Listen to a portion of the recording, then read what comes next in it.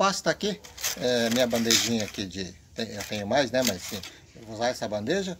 É, esse é o substrato. Então, às vezes o pessoal pode utilizar, é, preparar um tipo, alguma coisa parecida com substrato, né? Mas nesse caso aqui eu já compro o substrato pronto, porque ele é uma coisa assim barato e já é próprio para fazer isso, né? Eu vou mostrar aqui. Tá aqui já preenchido, né? O substrato é, já se coloca direto assim na, na, na, forminha, digamos assim, na bandeja, né? Não precisa colocar esterca, adubo nem nada. É só o substrato, vai manter a germinação e a planta até o plantio definitivo, né? Agora, quem não, tipo, não encontre é, o substrato e queira é, fazer alguma coisa por conta, né? É, pode misturar terra com areia, areia limpa, né? Terra limpa, terra de preferência sem terra de barranco, né? E pode colocar, né, se for o caso, folhas trituradas, bem trituradinha, né? É, se tiver facilidade assim, por exemplo, com carvão, pode triturar um pouco de carvão e misturar, coisa assim que deixa a terra arejada, não pode ficar compactado, né? Porque esse próprio substrato é um material carbonizado, né? Então tem várias opções. Eu uso substrato que é fácil encontrar, barato e já vem prontinho, mas dá para se fazer coisa que substitua. A variedade que vou plantar é essa aqui, né? E ela é assim, cada grama tem quatro sementes, que a semente ela é graúda. E esse pacotinho tem 10 gramas. Então, teoricamente, eu tenho aqui 40 sementes. Vamos ver se tem 40 mesmo, né?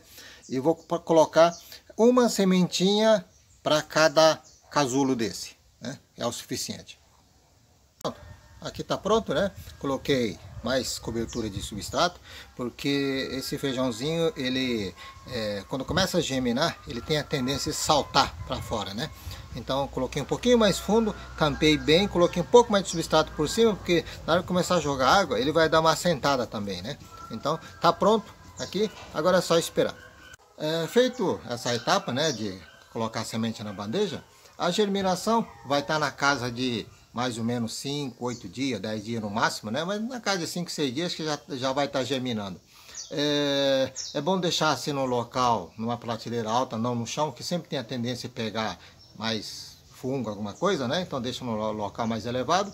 É, questão de sol, não dá muito sol nesse período, né? É, mais ou menos 3 horas por dia tá bom de sol, né?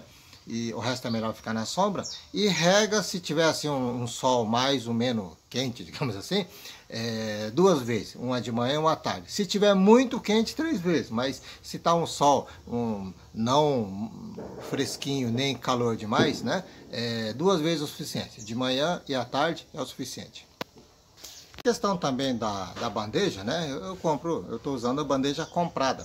Mas se a pessoa vai fazer pequena coisa, independente se é vagem, pode ser qualquer outra sementeira, né? Pode utilizar aqueles copinhos, sabe aqueles copinhos descartáveis de café pequeno? Só que tem que fazer furo embaixo, né? Primeiro um, dois furos embaixo para drenar.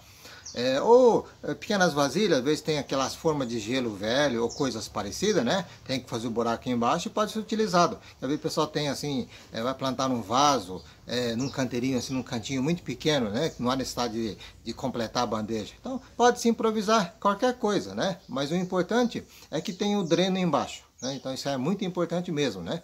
e de preferência quando for fazer o dreno, observar que não vai ficar aquela rebarba virada para dentro, né? Porque senão acumula água, então, é, ou sem rebarba ou virado para baixo, né? Porque às vezes a pessoa fura e rebarba vira para cima, né? Então tem que furar de cima, de dentro para fora nesse caso. Mas tendo esse cuidado, qualquer outra vasilhinha pequena é o suficiente.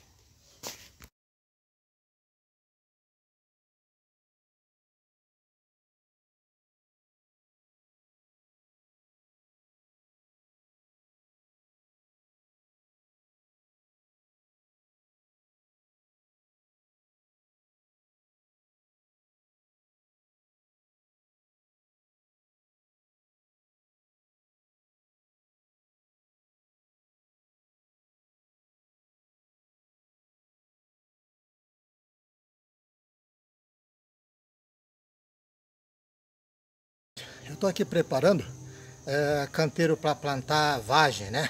Só que vagem tem que ter estaca para tutoramento, né? Para apoio. E agora eu estou na parte mais pesada do serviço, que é justamente tombar terra, né? Então, quem mexe com terra sabe disso.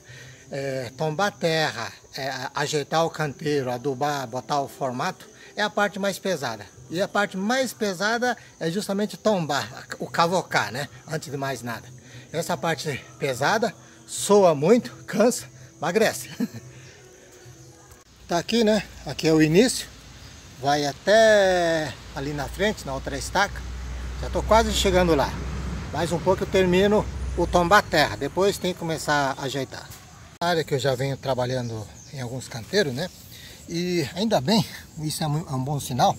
Ó, muita presença de minhoca. Ó, minhoca escondendo aqui, aqui também. Tem bastante, tem bastante. Então quando tem bastante minhoca na terra, significa que o acidez está bem equilibrado, né? Então uma coisa vai atraindo o outro. Vem minhoca, tem humus da minhoca, ela deixa mais a terra é, arejado, né? Então é um série de benefícios. Então ter minhoca na terra é um bom negócio. Uma que mostra que já não tem acidez, né? Ou se tiver uma coisa muito mínima. E ela também ajuda a trabalhar na terra. Bom, tombei, eu dei o formato aqui do canteiro, né?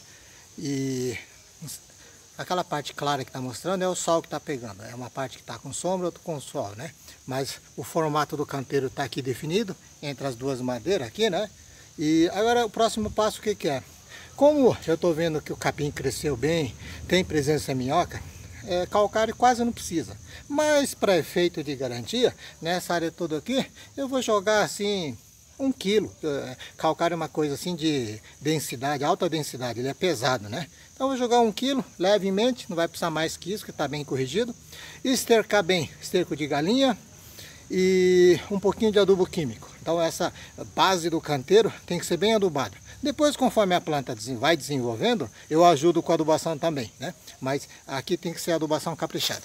Bom, aqui é terra. Quando a gente fala em adubação, todo, é, cada tipo de terra é diferente, né? O valor nutricional que ela já tem. Né?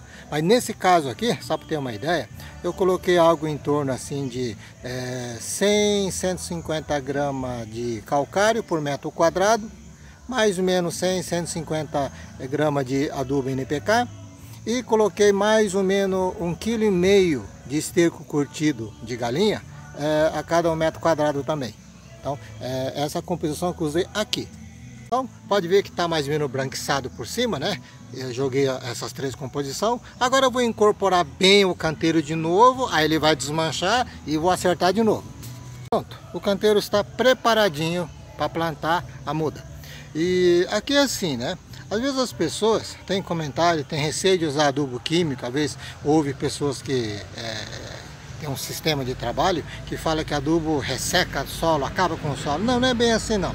Se você tiver com o solo bem equilibrado, né, é, protegendo o solo, material orgânico, adubação orgânica, é, já tem assim bastante microambiente, minhoca, inseto, né? O, o adubo é bem-vindo. O que não pode, que às vezes o pessoal confunde, é numa terra seca, o pessoal só corrige com calcário e com adubo. Aí o que acontece? Obviamente a terra não tem proteção nenhuma, o pouco de nutrientes que a terra tem, é, junto com o adubo, ele vai embora. Então a terra fica ressecada realmente. Né? Então tem um ponto de vista diferente. Você trata a terra, que adubo químico é bem-vindo. Mas se usar puro, realmente acontece isso. É que as pessoas às vezes generalizam e falam que parece que jogando em terra boa é, acaba com a terra. Mas isso se a pessoa não cuidar da terra. Bom, gente, agora as mudas estão finalizadas, né? Aqui é nono dia, nove dias após a semeadura. E isso aqui é uma coisa, sempre eu comento, né? É, se eu ver a embalagem, é, o fabricante diz que tem 98% de germinação. 98, é, cada, cada 20 nasce 19, né? Mas na prática não é não. E não está nem no solo direto, hein? Está na bandeja com substrato, é, ele está com 50%. 50% de germinação. Então, na realidade, assim, se eu tivesse colocado no chão, com certeza seria menos ainda, porque tem ação de é, climas diferentes, solo, chão direto, é, sol, chuva, às vezes fungo, às vezes inseto, né? Então isso cai para menos de 50%. Aqui está com 50%. Um detalhe em muda, né? Que não é só por causa da vagem, todas as mudas são assim. Ó, tá vendo essa raiz que já está começando a enrolar aqui embaixo? Às vezes eu vejo as pessoas trabalhar com muda grande, ou falar que tem que deixar crescer muito, né? A muda você não pode deixar enrolar muito a raiz, porque prejudica a, o crescimento depois, que a raiz tem que desenrolar para continuar crescendo, né? Então a muda tem um limite para se plantar, é, principalmente, né, dando um exemplo, frutífera, que são raízes mais duras, às vezes você compra aquelas mudas antigas, que a raiz no fundo está tudo enrolado, ele demora muito mais para se adaptar na terra. Então, é, esses cuidados com a raiz é muito importante. Pronto, gente. Agora já está tudo plantado. Tá essa fileira até ali na ponta, né? Então, aqui, assim, algumas explicações, né? É, esse canteiro você pode fazer, digamos, mais largo a base e colocar bambu um em cada lado. Aí eu fiz uma fileira de um, né? Mas pode colocar bambu um virado para cá, um virado para cá, cruzando as pontas, né? Apoiando um com o outro. Então se planta em cada pé. Pode ser feito esse sistema também. Eu aqui optei numa linha só, porque é, como eu fiz a muda, eu não preciso ficar calculando, né? Então, esse eu falo calculando porque acontece o seguinte. No plantio comercial, né, quando a gente plantava em grande quantidade, é, sempre a gente utilizava esse sistema com canteiro mais largo e dois bambu, um cruzado com o outro, em cima, um apoiando no outro, né, e o arame no meio, né. Aí, em cada pé, em cada é, cova, digamos assim, é, devido a essa questão da germinação, a gente colocava duas sementes, às vezes germinava um, às vezes germinava dois, às vezes acontecia até não germinar um, nenhum, né? Mas assim, você colocando duas sementinhas, normalmente germina pelo menos um deles, ou as duas. Só que aí, esse espaçamento aqui, ó, que está na casa assim mais ou menos de uns 25 centímetros aqui, mais ou menos, 20, 25 centímetros, na realidade, a gente deixa o dobro do tamanho aqui, deixa mais ou menos 40 centímetros, né? Então eh, a gente joga espaçamento de 40 para poder colocar duas sementinhas de cada um. Né? Então, raciocínio quando a gente vai fazer numa área comercial maior, é, a gente fazia assim, a gente colocava dois bambu, um de cada lado, em cada pé a gente plantava e colocava duas sementes de cada um, né? justamente já para distribuir num espaçamento maior. Né? Agora, assim não. Só que assim, quando planta bastante, é, algum falha, os dois falham, mas é, ele fica assim, digamos, perdido no meio, você não repara. Mas quando você faz uma linha só, como eu fiz aqui, é, pode ver que a semente germinou só a metade, né? Então ia ficar feio, ia ter assim, algum crescendo muito mais, outro menos, ia ter falha no meio, né? Então a gente quer fazer um negócio assim, é mais uniforme, né? Aqui. Então por isso que eu desenvolvi na bandeja, até para aumentar a possibilidade de maior germinação, né? Uma assim informação, né?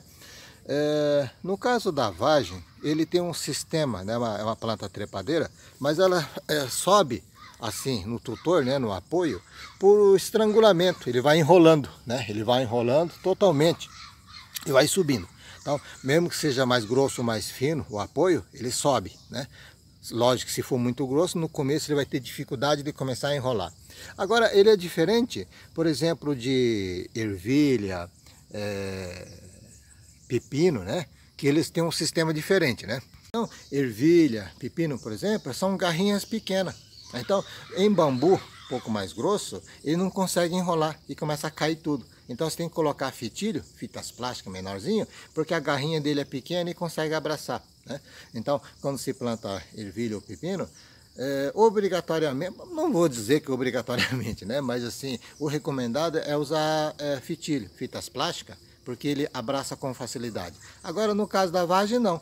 É, uma das vantagens de colocar é, o bambu também, é, fica mais firme, né? Porque é, ele apoia no chão. Quando você coloca fitilho, você tem que colocar de qualquer forma apoio no meio, usa o bambu, segurando a, a guia principal de cima, porque ele vai fazendo muito peso. Então você tem que sustentar um pouquinho, que o fitilho ele pendura totalmente. Então todo o peso da massa foliar da planta, ele acaba ficando pendurado. Então você tem que ter apoio. Agora, assim com o bambu não. É, própria, no caso da vagem, ele vai subir enrolando, que é sistema de estrangulamento, e próprio bambu já firma, então não tem muito problema. A única coisa que pode acontecer aqui, às vezes vem um vento forte, e conforme vai tendo peso, que agora não tem peso, né? Às vezes é, uma parte vira para lá, outra parte vira para cá, ou todos viram para cá, tem esses movimentos, né? Mas aí é normal. E agora é só esperar.